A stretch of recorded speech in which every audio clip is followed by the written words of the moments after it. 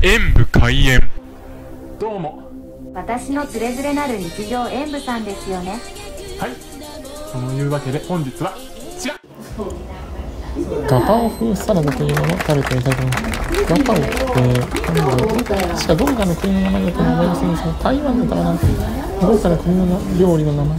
ああ、思い出せない。でも美味しそうですね、目玉焼きと、このお肉なのかな。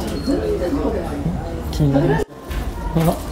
ちょっと食欲を香るスススパイシーな香りがドレッシングからしますね。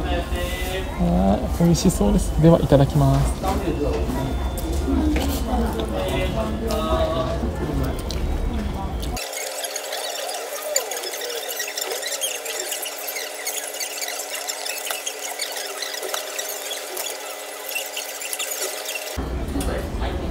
ドレッシングとお肉の味付けなのかちょっとわからないようですが舌にくるビリビリとした香辛料の刺激が食欲をそそりとっても美味しかったです。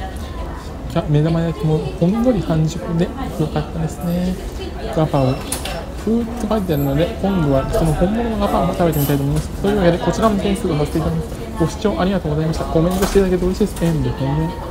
パソコンおよびスマートフォンのアプリの方はクリックをお願いします。